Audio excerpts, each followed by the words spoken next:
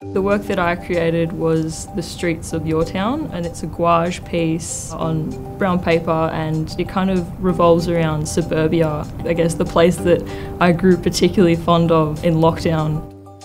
The street actually doesn't exist, it's kind of a amalgamation of different parts of Melbourne suburbia that strike me as familiar. Kind of like the Google map perspective a full streetscape kind of gives you a sense of suburbia as a whole and not just household structures.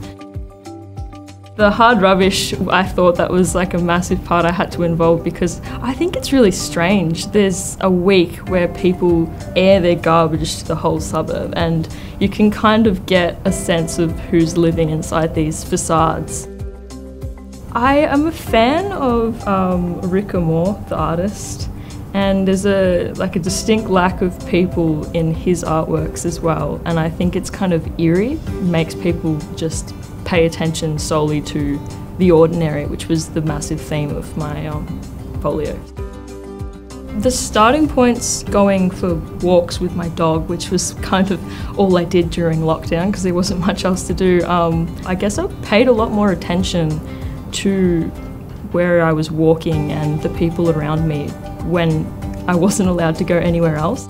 I wouldn't take pictures of the houses because I felt a little bit creepy doing that, so then I'd go onto Google Maps and look at them from that way. I spent so long on Google Maps trying to scan and find a perfect like image of a power pole because they'd be on the side because the car moves as they take photos. And I remember finding a street in Northcote that had the perfect, like one address that had the perfect power pole in the middle, and I was like, I'm going to use that.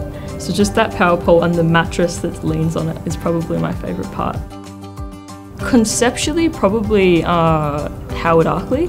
I was very inspired by his suburban vernacular explorations and how he would take real estate pictures um, and kind of reinvent them in a vibrant and patterned way.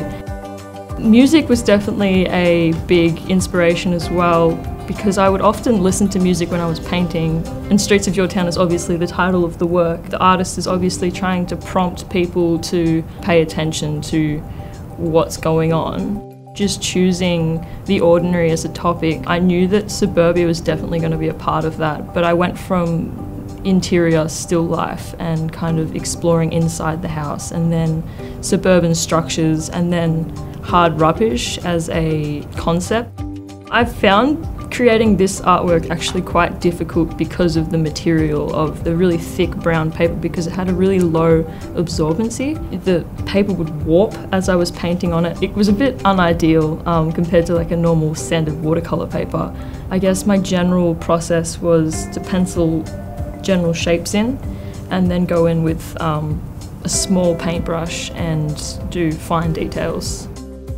If I could give advice, it would probably be to choose a topic that you can expand upon a lot in ways that interest you. So the ordinary doesn't seem like the most exciting um, topic, but for me, I used that and I kind of twisted it to suit my interests and really explore things that I enjoyed. And also having fun with it. I feel like you create your best artworks when you're not stressing about being perfect. There were definitely moments when I was making this work and many of the trials in my folio where I thought, this is horrible, but that was because I was looking for perfection, whereas if you're not looking for perfection, you often get your best pieces.